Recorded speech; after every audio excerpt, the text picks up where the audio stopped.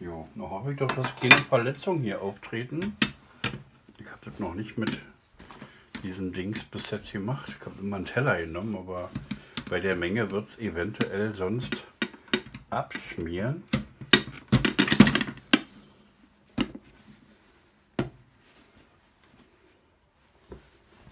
Ja,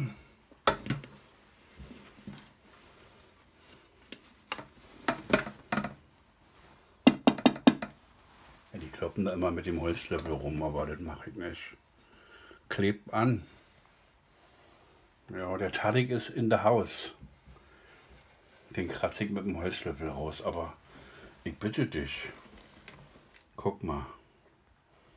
Safran, Berberitze, Kräuter. Na denn, Onkel? Oh, bin schon sehr aufgeregt.